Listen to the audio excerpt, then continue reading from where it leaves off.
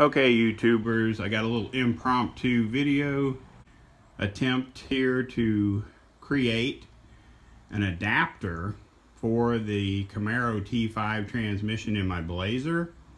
I'm going to try to get some freehand video.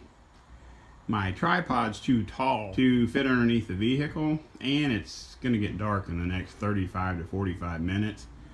So basically just a quick story. Um, when you install a Camaro T5 transmission in the normal 12 o'clock upright position, it canters or it angles the transmission mount in the rear. Reason that is, the factory Camaro T5 transmissions sit at a 17 degree tilt towards the driver. According to online, is directly related to some kind of a clearance issue they had in the um, 90s style, early 90s, or late 80s, early 90s style Camaros, Firebirds, all that, F-bodies. They needed to, for some reason, tilt the transmission and everybody keeps talking about to gain clearance. So I don't know for sure what that's about, but you can look that up on the internet.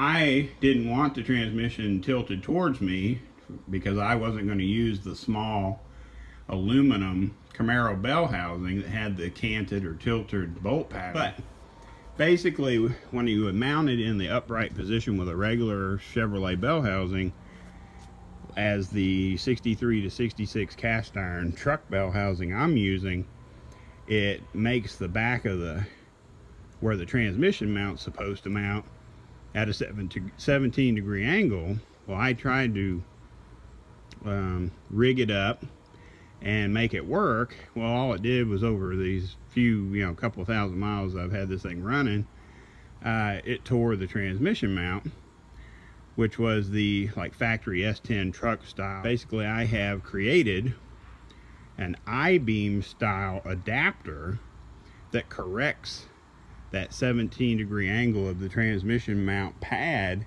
to a regular horizontal flat mounting surface. But in our attempt to set my pinion angle at my transmission we raised the transmission which found out we are I am not capable of properly setting up the pinion angle on my transmission in this vehicle unless I lower the engine that's a whole different video, a whole different topic. We found out when it was too late that, around this pole, basically what I've done is raise the engine so high um, the exhaust manifold ran into the steering shaft. So at this point, my vehicle is almost undrivable because you can't turn the steering shaft because it's literally pinched up against the top of the exhaust manifold. Under I go. Hopefully I'll be able to get a little bit of video so I can show you my little adapter design and show you how I'm going to lower the back of the transmission. Hold on just a second. Naturally, when I want to try to do something, I have just enough tools to get myself into trouble and generally not enough tools to get out of it. But I just came to the realization in my moment of crisis, I either have lost or never owned a 19 deep well socket. So I'm to have to try plan B.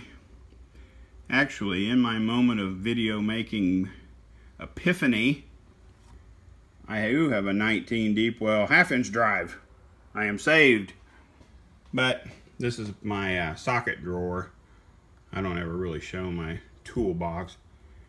It's my get in trouble, hopefully get out of trouble toolbox. So stay tuned. We're going underneath the vehicle. Okay, guys. I'll try to get this as non-shaky as I can. Basically, there is the 17 degree canter, 17 degree canter angle of the transmission mount pad on the T5 transmission when it's mounted in the upright position. Um, right now I have it as a solid mount which will not stay that way.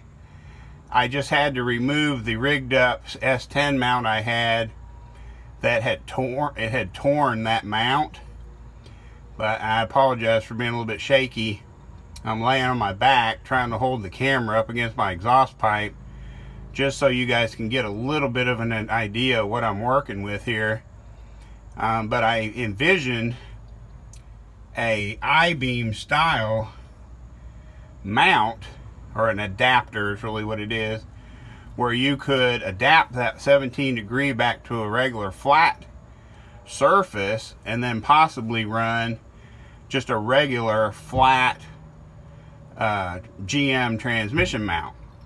Um, now, this is just my first prototype, uh, which is going to work for the time being, but will probably get shortened another half inch or so. Once I find the actual measurements of a decent polyurethane uh, transmission mount, um, I'll show you the final product that I come up with because trust me, had to go to Home Depot and blow like $20 on a, a lot of extra steel to get the materials to make what I have right now. So, um, but that is my general I-beam design. Um, feel free to run with it. I'm not planning on, you know, patenting it or anything like that, but it will allow you to build a solid, strong adapter that will put you in between the transmission and, an, and your actual transmission cross member and hopefully be able to make it shorter but I want to weld nuts so that I can screw upwards to mount the new transmission mount to the bottom of the I-beam. That's because you run out of room to uh, be able to put in your bolt that bolts the adapter to the transmission. Like you only have a certain amount of space to fit a bolt in through that I-beam on the passenger side because of that canted 17 or 17 degree angle. I mean right now it looks like there's a ton of room but the threads alone on that bolt are I think three quarters of an inch long or so but I just wanted to share my little brainchild with you guys while I get under here and try to keep the engine from killing my drive or my steering shaft. Hold on just a second. I end up having to just pull the adapter I built off the car. Um, it was a good idea.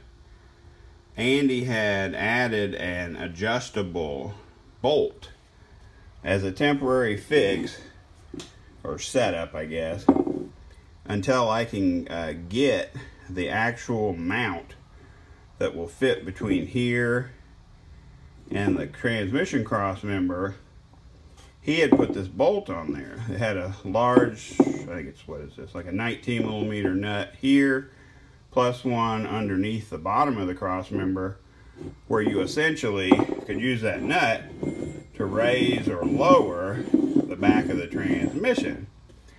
Problem is, we didn't know we were going to smash the exhaust manifold into the steering shaft and the bolt we used is not threaded all the way to the head. So even with this nut, I'm sorry, I'm, I'm blowing my chance at cameraman today. Uh, even though this nut came up to the thread where the threads ended, we hadn't lowered the back of the transmission near far enough to get clearance to the steering shaft. So plan B and C soon to be. Hold on Still brainstorming a solution to my dilemma. I wanted to show you this factory S10 mount that I had bent the ears on to mount to that weird 17 degree angle. Then we had replaced the center bolt to a whatever size takes a three quarter nut. I can't think right off the top of my head. But we upgraded the bolt size here, mounted it to the bottom of that transmission, but you can see it was not happy with being mounted the way I had it mounted because she tore. She tore all the way around. Okay, so I was chasing some vibration issues yanked the drive shaft out to replace the U-joints because I already had those. I've had them for over a year. Went ahead and put the new uh, precision, I think, U-joints in there. And I thought, well, I'm gonna I'm gonna try my new uh, brainstorm of an adapter to replace this tore up piece of junk. And so far it ain't working that great, but I'm not giving up. Stay tuned. Okay guys, had to pull the uh, T5 adapter back off, drill the hole in the crossmember tab, uh, probably an eighth of an inch, maybe three sixteenths of an inch, I'm not sure, Richard was the one using the infamous Unibit to, uh, and basically what was happening was the up and down of the transmission tail shaft wasn't the root cause of the interference to the steering shaft. Apparently that engine and transmission wants to push the back side of that transmission towards the passenger side of the vehicle because we had um, visually lined up the output shaft of the transmission with the pinion yoke on the rear end to try to straighten up the drive line to see if it would help with any of my drive line vibrations under wide open throttle. When we did that, that's what took away that really tight clearance we had for the steering shaft to exhaust manifold. So we had to basically drill in some clearance in that tab on the cross member and we didn't even have to pry it, force it, push it, nothing. Literally the engine just set back over towards the passenger side of the vehicle, dropped right in the hole we drilled, or actually made bigger and slightly to the passenger side. It went, it, we were just going, look, it, it went home. It went to where it wanted to be. And I'm like, yeah, I guess so. So for the time being, we have restored clearance to be between the exhaust manifold and the uh, steering shaft so the vehicle can be operated again. Um, I don't know what I'm going to do. The only way to properly fix this situation is to lower the engine in the engine compartment. That's going to require some uh, cutting and welding and cussing and praying.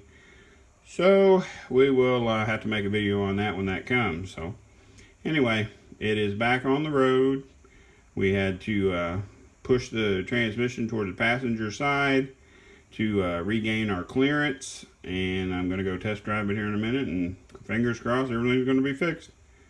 Appreciate you guys watching. Just made a little impromptu video. Hopefully it's not too annoying and too bouncy. Thanks guys for watching.